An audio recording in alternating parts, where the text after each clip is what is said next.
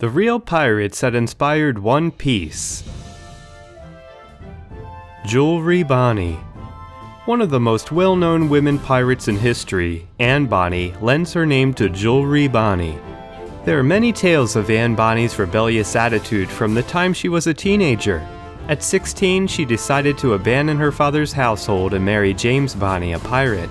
During that time, she made many pirate friends and finally left her husband for Calico Jack Rackham, a small time pirate who Anne later married. They both had a son, about whom we don't know much. A few months later, Anne Bonny partnered with another famous female pirate, Mary Read, with whom it is believed she also had a romantic relationship. Anne's promiscuous lifestyle, tales of which can be found in popular lore, could be reflected in Jewelry Bonney's gluttonous behavior. But, contrary to her real life counterpart, Jewelry is more inclined to help another pirate, like saving Zoro from what she believed to be his imminent death when he interfered with a world noble. While no one escaped from the punishment of hanging, Anne was pardoned along with Mary because they claimed to be pregnant, and also because of Anne's father's influence. After this, her fate is unknown. Iron Mace Alvida The first pirate antagonist that Luffy meets, Iron Mace Alvida, is inspired by a Danish princess that became a pirate, Alwilda. Because she refused her father's choice of marriage, Alf, the Prince of Denmark, she ran away and with a group of women commandeered a ship and dressed as men sailors. After a while, she met a crew that recently lost their captain, and Alwilda was elected as the new one. Along with her new crew, she attacked many royal merchant ships. Meanwhile, Prince Alf, along with the navy, went looking for her and her crew. They were able to find her ship, board it, and defeat her crew. Impressed by this, Alwilda finally decided to return as princess and marry Alf. Alwilda leading a crew of men parallels One Piece's Alvida running Buggy's crew while he was in prison.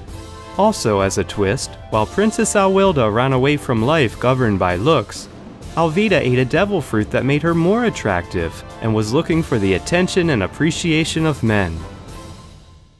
Bellamy the Hyena Bellamy the Hyena is the complete opposite of his real life namesake, Black Samuel Bellamy. While the fictional one was cruel and arrogant, the real Bellamy was very merciful and generous to all his captives. Due to this, he was nicknamed the Prince of Pirates. Furthermore, he is considered the wealthiest pirate in history. Bellamy had a democratic rule over his crew, and they likened him to Robin Hood.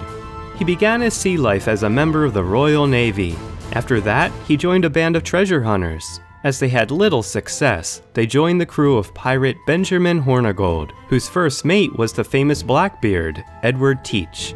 As Hornigold refused to attack English ships, the crew demoted him as a captain, and Hornigold, along with Teach and the other loyal sailors, left the ship. The rest of the crew elected Bellamy as the new captain. After that, they had a lot of success, robbing 50 ships in one year, and Bellamy earning fame known as Black Bellamy. Their greatest capture was the slave ship Whydah, that had numerous riches, and Bellamy decided to keep the ship for himself. His death came after the ship was hit by a powerful storm. Only 8 out of 148 people on board survived, and Bellamy wasn't one of them. Roronoa Zoro The master swordsman of the Straw Hat crew is named after the French pirate Francois l'Olonnais. Pronounced in Japanese, the name sounds very similar. It's hard to find any parallels between L'Olonnais and Roronoa besides the name, as the swordsman doesn't have the cruelty and lack of compassion for others which the former had. L'Olonnais raided many towns among all Maracaibo and Gibraltar in the Gulf of Venezuela. His crew hunted fugitives and tortured all the townsfolk until they revealed where any belongings or acquaintances were hidden. L'Olonnais himself was an expert torturer and spared no one. After a shipwreck to escape the Spanish soldiers, after all his crew were killed, he smeared himself with the blood of the others and played dead. The soldiers missed him and he escaped in a canoe dressed as a Spaniard. He and his crew were captured by the natives who were siding with the Spanish. There are two versions of his death cut into pieces and burned, or some say, eaten alive.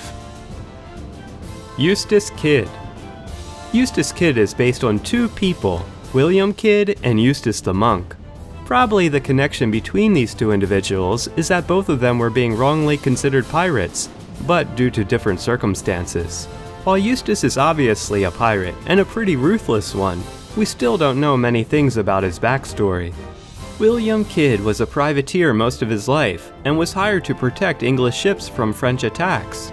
After a tough voyage, and pressured by his crew with few enemies to attack, he began engaging Indian ships. His downfall came after he attacked the Quedagh Merchant, a ship partly owned by an Indian minister. This led to Kidd becoming a wanted criminal, and he was caught, judged, and hung in a cage as a warning to other pirates. Eustace the Monk was a French mercenary who mostly served King John of England in his war against Philip II of France. Even though Eustace pillaged many English ships, he was kept in service by King John, and his role was deemed very important in the war. Eustace switched to the French side in 1212, and five years later, his convoy of troops was defeated by the English. His nickname, the Monk, comes from spending his time during his youth in a Benedictine monastery.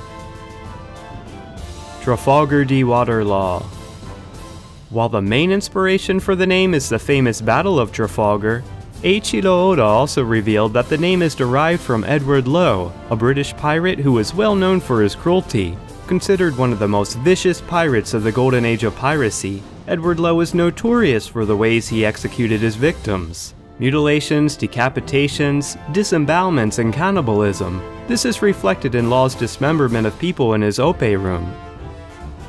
For women and married men, Edward Lowe made an exception.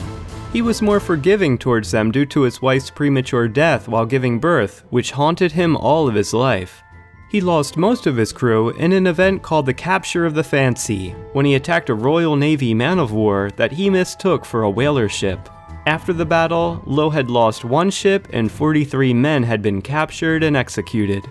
He continued his life of piracy, seemingly becoming even crueler until his death due to unknown circumstances. Gol D. Roger the most important pirate in the One Piece universe is actually inspired by a not so famous one, Olivier Levasseur, but the connection between them is very obvious. It is believed that Levasseur hid one of the biggest treasures in history, around 1 billion pounds, and left a cryptogram that pointed to its location.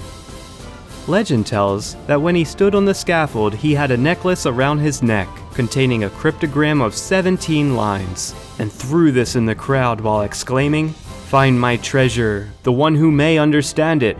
These words resemble very much Gol D. Rogers' discourse at his execution. My treasure? If you want it, you can have it. Go find it. I left it all at that place. Until this day, no one has truly deciphered the code and found the treasure, if there really is one. Levasseur was nicknamed the Buzzard due to his quick and merciless way of attacking ships. He retired from being a pirate, but was recognized when he tried to enlist on a trading ship. Levasseur was sentenced to death and executed. Blackbeard, Marshall D. Teach. And of course, possibly the main antagonist of the series is based on one of the most well-known pirates in history, Edward Teach, which had the same nickname in real life, Blackbeard. Obviously because of his extremely long beard. Teach was a fierce pirate who wanted to instill terror in all his enemies. To create this image, whenever he went into battle, he would put lighted matches or small candles under his hat so that the smoke would instill a demonic appearance. Even though his reputation was fearsome, he didn't use force to control his crew, and he never killed his captives. As he was known by two names, Teach or Thatch, Blackbeard murdering Thatch in the series and taking his devil fruit signifies killing his former self and taking what was already his. His end came after a renowned battle with a force led by Lieutenant Robert Maynard. He died with 5 bullets in him and 20 sword cuts all over his body, and was decapitated so that his head could be sent for bounty. Legend says that after being thrown in the water, his decapitated body swam around the ship three times before sinking, Thank you guys for watching, let us know what you thought of our video, and subscribe if you want to see more. See you next time!